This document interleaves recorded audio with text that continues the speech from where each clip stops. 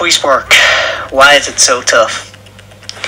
People we know and love affected by things around us.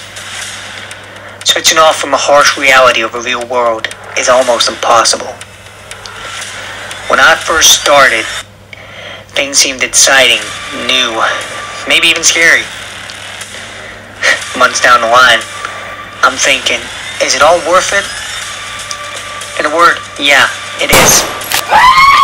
Because despite the fear, despite the horror, despite the anxiety of not making it through a day, I love it. And it is, in a word, rewarding. I'm Detective Daniel Harper, signing off.